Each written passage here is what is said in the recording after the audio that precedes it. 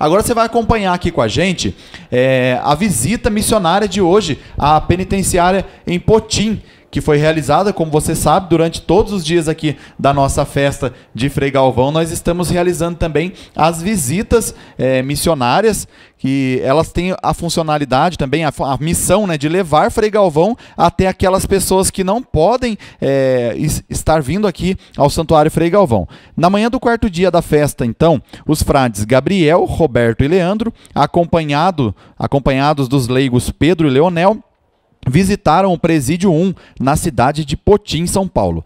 Assegurados é, pela pastoral carcerária da Arquidiocese de Aparecida, que tem o trabalho ordinário nesse lugar de missão o grupo missionário partilhou a palavra e invocou a bênção aos que se encontram presos, assim como os que exercem o trabalho público naquele espaço. Citando aí a passagem de Mateus, eu estava na prisão e foste me visitar, Mateus 25, 36.